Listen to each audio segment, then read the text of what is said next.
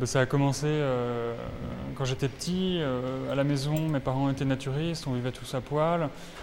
Alors très, quand j'étais petit, très vite, je me suis mis à montrer mon corps à tout le monde. Et, euh, puis l'adolescence, c'est devenu une maladie. Quoi. Je n'ai pas arrêté de m'exhiber et j'ai plus pu m'en empêcher. Et maintenant, maintenant c'est comme ça.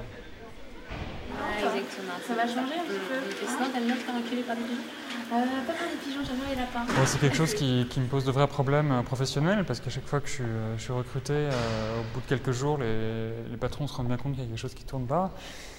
Et bon, je, maintenant je suis suivi régulièrement, mais euh, je, suis, je suis encore loin d'être guéri et c'est un vrai problème.